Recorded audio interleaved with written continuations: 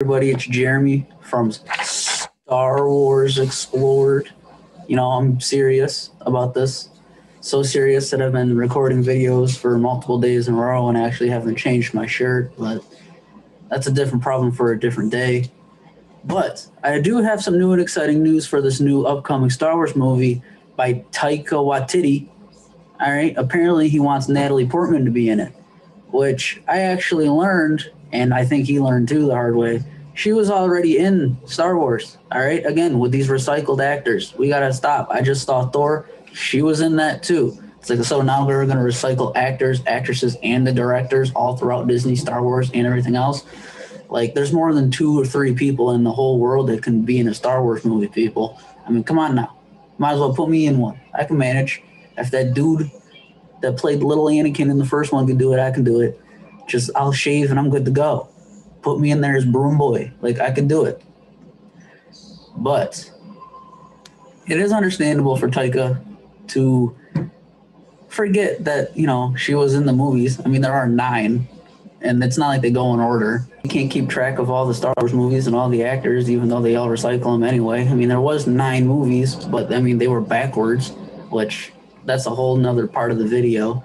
But you know, he must be a Trekkie too. All right, I'm gonna throw it in there. I don't care what the sweet council says. I'm gonna give him some Star Trek for a minute. All right, there's 13 movies, beginning to end. No confusion, no going backwards or then forwards, backwards again, through the middle and out the other side like you're tying a shoelace. No, linear, beginning, end, beginning, end. You didn't read the sign from Wars Star Explored. No, that's not even right. You didn't read the sign from Explored Wars Star Jeremy. I'm I hi. You know, no, no one did that.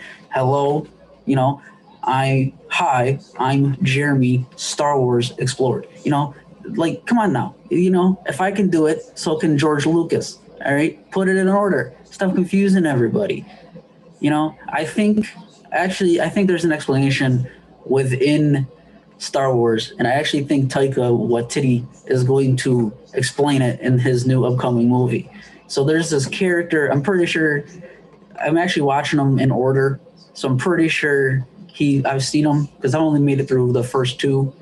The second one, oh my lord, boring, but different. Whatever, who cares? Star Trek was never that boring. Fine, but there is this dude in these two movies who apparently Taika is going to bring back for his movie, which I don't really know when it takes place yet, who is pretty known within Star Wars, who is supposed to be able to explain why Star Wars was told starting in the middle to the end and then back from the end to the beginning, from the beginning back to the middle to meet to the middle at the end that we already saw from the end to the middle because the middle was actually the beginning. So I'm going to share my screen and share this character with you that Taika is going to reintroduce back from the dead.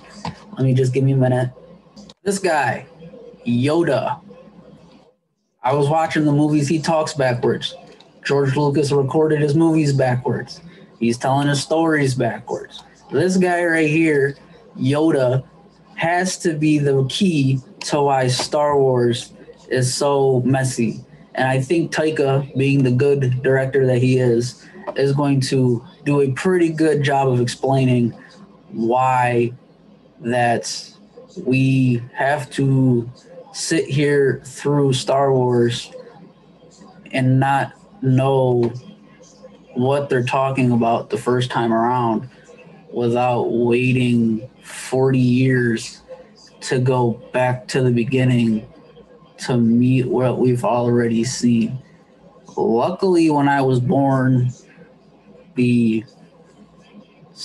I don't even know the original trilogy had already been done, and they were already one movie deep into the prequel trilogy. So it wasn't too confusing. But imagine you're like 15, 16, and you go see Star Wars for the first time in 1977.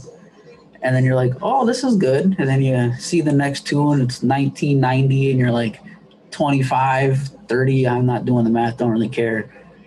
And then you got to wait 20, 30 years before you know what the heck the Clone Wars are when George knew from the beginning. Why didn't he just start with the Clone Wars and then go to Anakin and Darth Vader? We didn't need to go end to beginning, the middle, to the beginning to the end again. All right. The beginning doesn't have to be the middle, and the middle doesn't have to be the beginning, but the beginning can be the middle, and the middle is at the end. But the end doesn't have to be the beginning when the beginning is the middle, but the middle is at the beginning when the beginning is the end. I don't understand why George Lucas can't get that through his head. Star Trek, beginning, end, beginning, end. I don't understand. Beginning in the middle, in the middle, in the beginning. You know, no, nobody does that. Beginning, middle, end.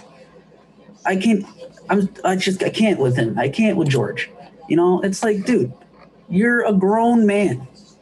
Beginning, middle, end. Hi, I'm Jeremy. Star Wars Explored. Not Explored War Star Jeremy. I'm high. Like I am high, but not because it's backwards. All right, but that's a whole. I probably shouldn't have said that. Goodbye. I'm sick of this.